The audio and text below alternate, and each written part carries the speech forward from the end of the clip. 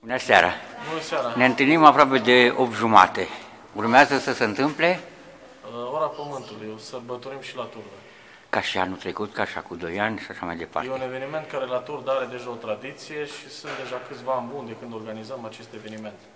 O întrebare indiscretă. Dumneavoastră, de pe poziția de viceprimar, ce îmi puteți spune despre această oră? La ce folosește, de exemplu? Păi, Prin această oră, prin uh, evenimentul care îl organizăm astăzi la Turda, vrem să marcăm două lucruri. Pe de o parte, încercăm să economisim energie în acea oră în care lumânările o să simbolizeze tot ceea ce înseamnă lumina, iar uh, prin mișcarea bicicletelor o să încercăm să oferim o alternativă la trafic urban și la tot ceea ce înseamnă aglomerația din zilele noastre.